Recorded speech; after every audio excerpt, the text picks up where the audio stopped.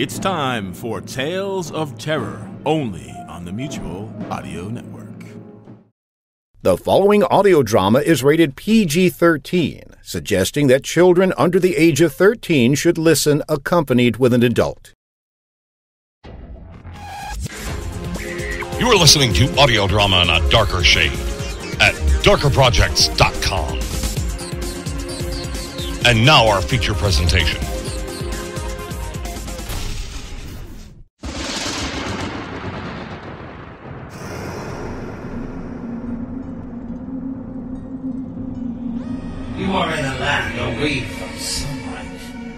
You are in a land of darkness and fear. Somewhere between waking and sleeping are night terrors. Night Terrors, an anthology of horror and suspense. Tonight's episode The House in the Clock, written by Paul Mannering.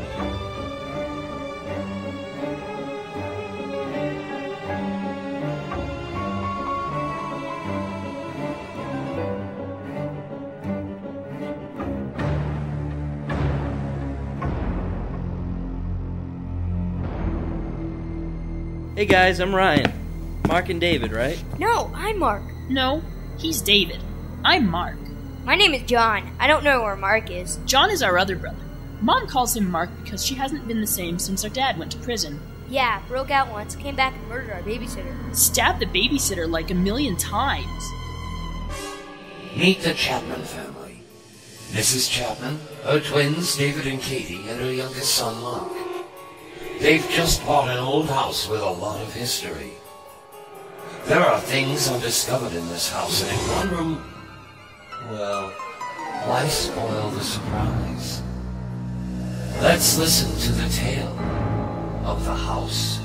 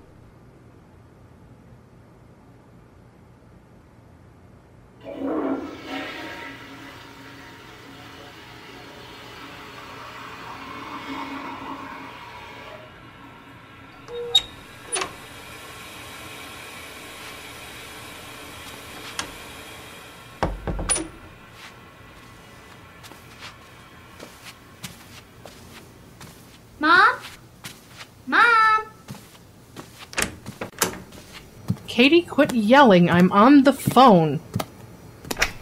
Yeah, the house is great. I can't believe how cheap we got it. I mean, after Charles left, I really didn't know where we were going to live. Oh, yes, Mark and the twins are settling in just fine. Will you make pancakes for breakfast? Katie, I am on the phone. You get dressed.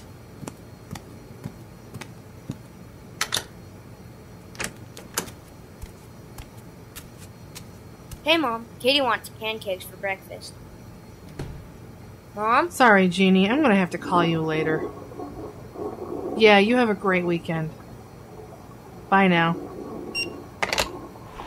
Yes, Mark, honey. Pancakes are on the menu for breakfast. Now go use the bathroom, get dressed, and then you can help me mix the batter.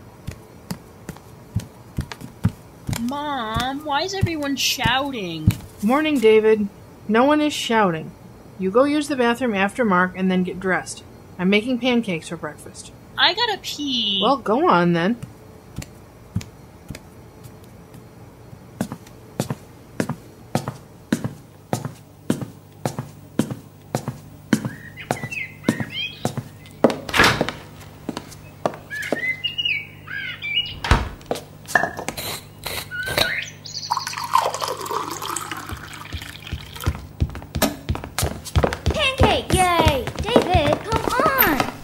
Now, you guys remember, I'm going to be out this evening. You're going to have a babysitter. Mom. No arguments. I'm not leaving you in charge. Daddy did. Your dad left us and moved to California. I wish we lived in California. I don't. Get the pancake mix out of the cupboard. My friend Michelle, she went to stay with her dad over the summer. He lives in Ohio. She said it was really lame. California would be boring too. Nuh-uh. There's Disneyland and the beach and Hollywood and zoos and stuff. We have a zoo here, Katie. Not like in San Diego. My friend Tina, she went to the San Diego Zoo with her parents and said it was cool. David, how you doing? Mom, the computer isn't working. You know you're not supposed to touch it without Mom's permission. Mom, David broke the computer. I didn't do it. Katie, leave your brother alone. Mark, help me mix the pancake batter.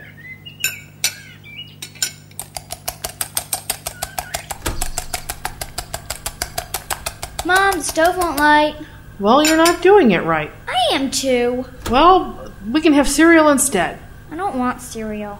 Yeah, cereal is boogers. Cereal? Ugh. I want to go home. Katie, this is our home. The old house has been sold. It has a new family living in it now. I bet they're having pancakes for breakfast. Okay, everyone in the car. We can go out for breakfast.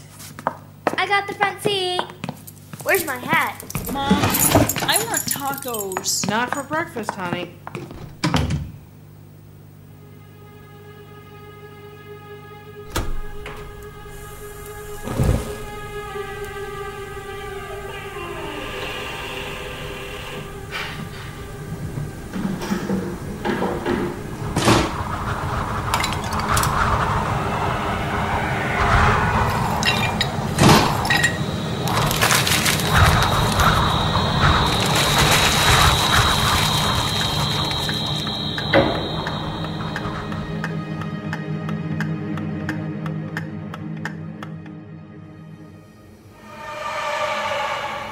Okay, now the babysitter is going to be here soon. He comes highly recommended, so you guys need to behave for him, okay? He? You got us a guy babysitter? Yes, Katie, his name is Ryan. Mom, you can't do this to me. Katie, he is on his way. I have to leave soon. It will be fine. Oh my god, he will think I'm such a loser. What if he knows someone at my new school? What if he tells them I'm a loser who needs a babysitter? Katie, he isn't going to care. You're only 12 years old, for Christ's sakes. He probably babysits a lot of kids your age. You think? I'm sure of it. Besides, he might be cute. Mom! Mark, David, you guys get into your PJs, please. I have to get changed. He can't see me like this. Whatever, Katie. That will be Ryan. Oh no.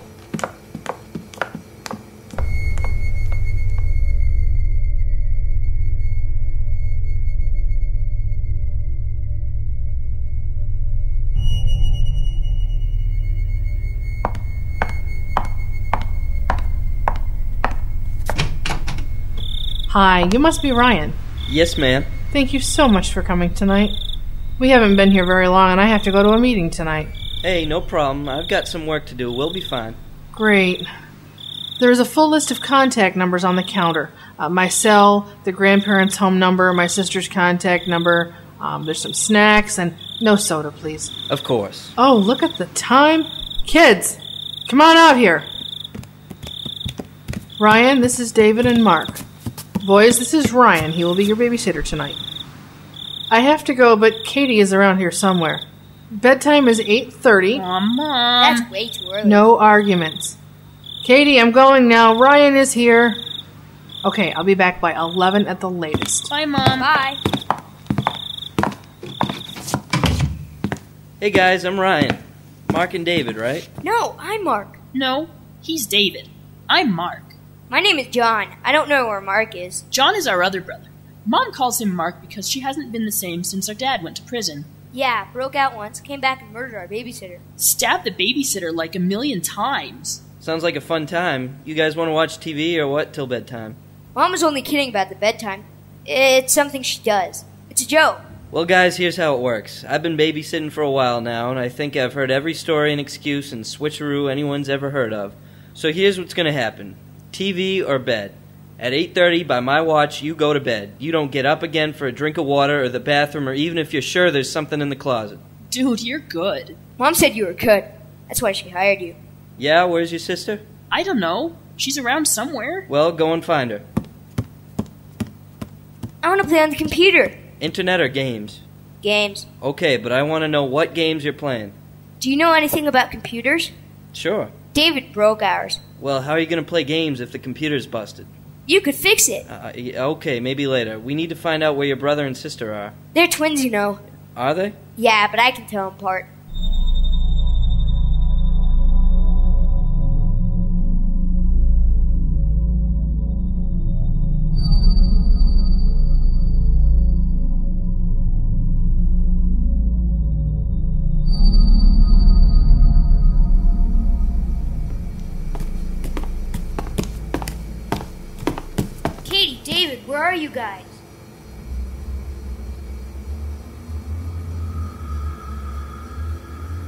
Come on, guys, quit fooling around.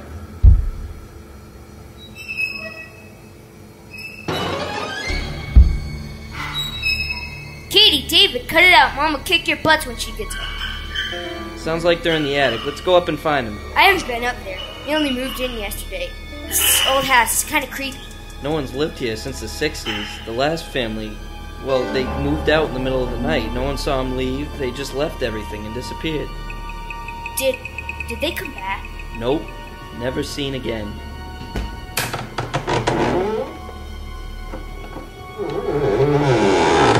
The stairs up to the attic. You want to wait here? Uh, sure.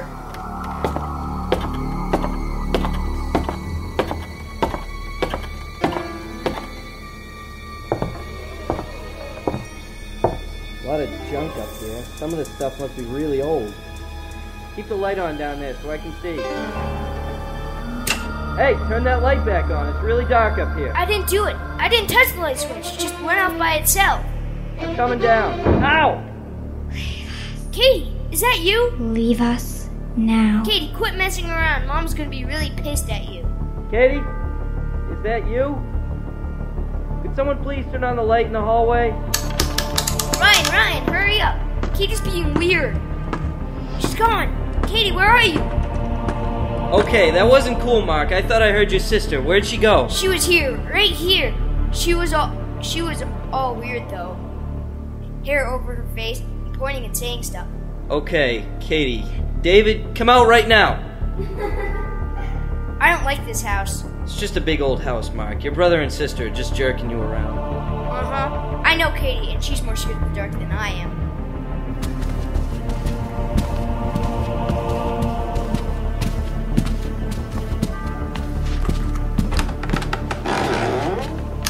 Katie? David, you guys, Why are there so many sheets in here? they cover furniture with them. It, it keeps the dust off the chairs and stuff. I bet your sheets sure get dirty. David, you in here? Me and Mark are gonna call out for pizza and have some sodas. You guys want some? Hey, Mom said we can't have so.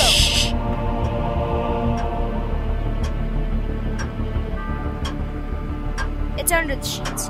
It's just an old clock, Mark. Vibration will have made it start ticking. I, we have to find Katie and David.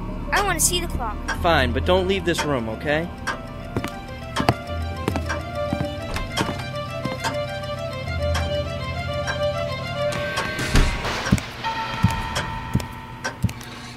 Wow, this is so cool. A clock with a door on it.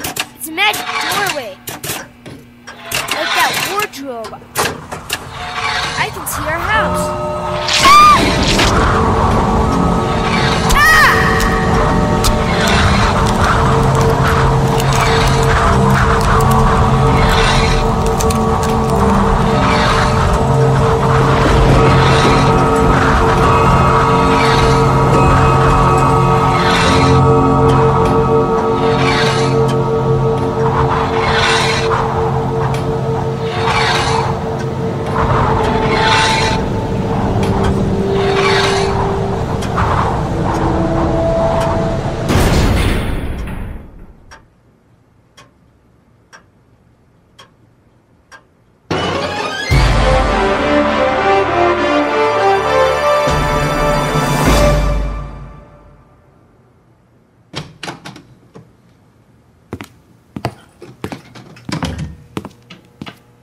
Mark?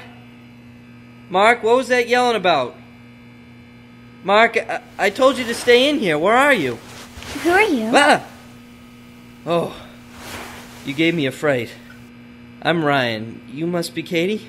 Katie, yes, I'm Katie. Why are you here, Ryan? I'm your babysitter. What's so funny? It's been a long time since I had a babysitter. Whatever. This game is gonna stop. Where's your brother? My brother? David? Oh, yes, my brother David. He is close. And Mark? Mark? Mark is having a timeout. Have you guys locked him in one of these rooms? There are many rooms in this house, and many more inside. I am David. This is my sister Katie. We are twins. Jesus, don't creep up on me like that. Yeah, I got that you're twins. Your brother Mark told me. And you are. I'm Ryan. I'm your babysitter, and I've had enough of this crap. You all need to get downstairs now. Very well. Come on, David. Let's go downstairs. Of course. Downstairs. David, where's Mark? He's somewhere in the house. Well, he'd better hurry up and come out. Only time will tell. Speaking of telling, I'm so gonna be telling your mom about this. Mom? Ma, at last. Mark? You guys can watch TV if you want. Yes. Gunsmoke should be on tonight. I would rather watch Flipper. Yeah, maybe on some dead rerun show channel. Can I have some milk? Yes, milk and Trix. Trix are They're for kids. That's so lame. Is not. Trix Rabbit is groovy. Yeah, maybe 40 years ago. I would like some milk and Trix. I would like some Trix and milk. Whatever. Mark said you broke the computer, David? What'd you do to it? What computer? Like on Lost in Space? Enough of this freak show. Mark! Come down here, Mark! There you are. Did they lock you in one of these rooms upstairs? I was in the house. In the clock. In the house. Are you okay, Mark? Mark, yes, I am Mark. David and Katie are my brother and sister. Yeah, they're twins, but you can tell them apart. Of course I can.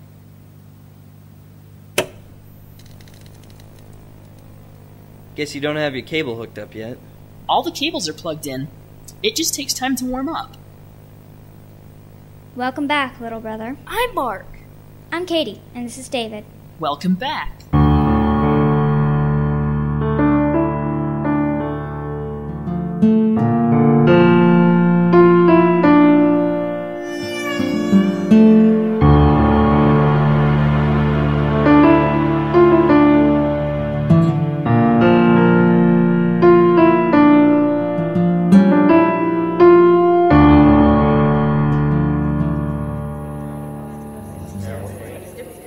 Mrs. Chapman, Oh, uh, yes, Ms. Clark? please call me Ramona. Okay, Ramona. It seems strange calling a teacher by their first name. Well, unless you're in the sixth grade, I'm sure it's fine. I'm sure the children will do well here. You seem to have a great school. We do what we can. Federal funding is always a problem, but we have a dedicated team of teachers who give 110%. I appreciate that. Honestly, with the new house and the move across the city, a new school was looking like a total nightmare. Well, we try to make only your good dreams come true. I don't believe I got your first name. Mrs. Chapman is fine. Uh, yes, of course. You moved recently, Mrs. Chapman? Yes, we we bought the old house on Rogers Street. You moved into the old Winchester place? I guess. A two story house, wooden exterior. There's an oak tree in the front yard. Are you okay, Ms. Clark? Uh, I'm fine. You have three children, Mrs. Chapman? Yes, well, you know that. Katie and David and Mark, he's the youngest. Uh, the Winchester house has not been successfully occupied since the Truman family vanished within its walls in 1966. My father was a police officer and he was one of the search party. They found some blood around an old grandfather clock and no bodies were ever found. Well, that's an interesting story, Ms. Clark, but. I'm not finished, Mrs. Chapman. Daniel Truman was killed in Korea. Mrs. Truman raised the children on her own. She had three children, Mrs. Chapman fraternal twins, a boy, a girl, and a younger son. Coincidence. Possibly. I hope so. All I know for sure is what my father told me. There is something terribly wrong with that house, Mrs. Chapman. Something that destroys lives. Other families have tried to live there. Never with the right combination, though. Don't you see? Something in that house drove everyone who tried to live there away. It has been waiting, Mrs. Chapman. Waiting just for the right people to move in. This is crazy, Ms. Clark. I'm not interested in hearing your ghost stories. It's not a story, Mrs. Chapman. I'm trying to warn you. Go home, gather your children, and get out of that house.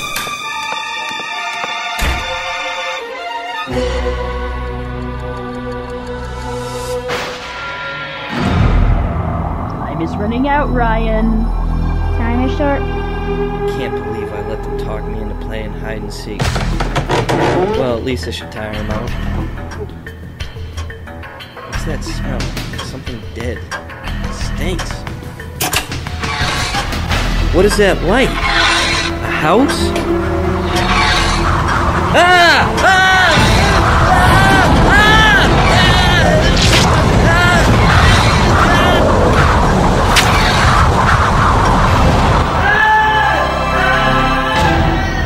We really are too old for babysitters.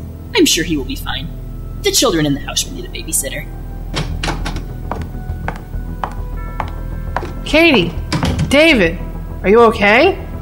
Where's Mark? Hi, Mom. We are fine. Just great, Mom. Where's Mark? He's upstairs. He is showing Ryan a really groovy grandfather clock we found. You should see it, Mom. It's a real antique. Yeah, Mom, come and check it out. Then we can be a family again. Okay, just give me a minute to get my coat off. Oh, Mom, we have all the time there is.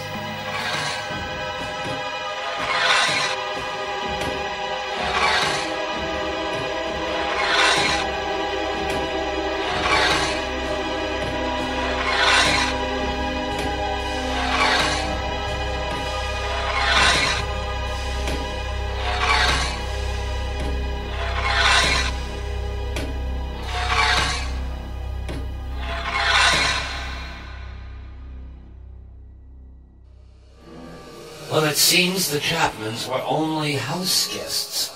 But now, the guests have become the hosts. The Trumans have returned, and with a little time, I'm sure everything in the house will be running like clockwork.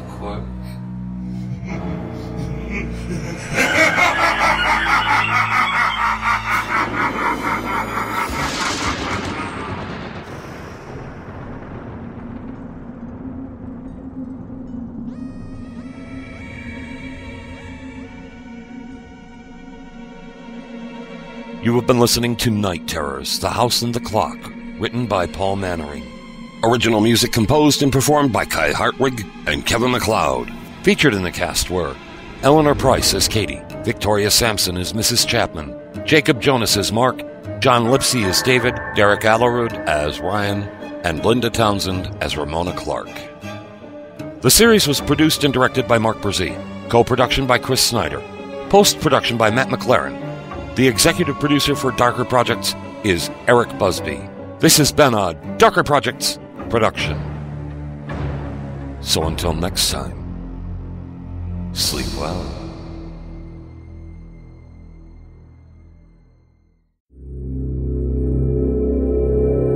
Chauncey Haworth, Mark Slade, and Lothar Tuppen, the demented minds behind the Twisted Pulp Radio Hour, bring you